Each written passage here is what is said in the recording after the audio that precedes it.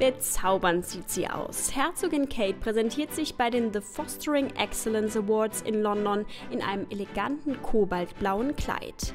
Weniger elegant war jedoch eine kleine Geste, die kurz nach der Ankunft der hübschen 33-Jährigen folgte.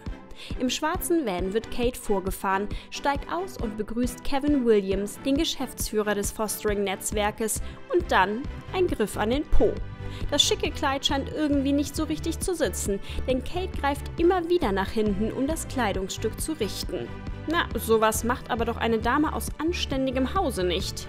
Beim nächsten öffentlichen Auftritt wird die Herzogin ihr Kleidungsstück dann wohl vorher ausgiebig auf Bequemlichkeit überprüfen, damit ihr so ein kleines Missgeschick nicht noch einmal passiert.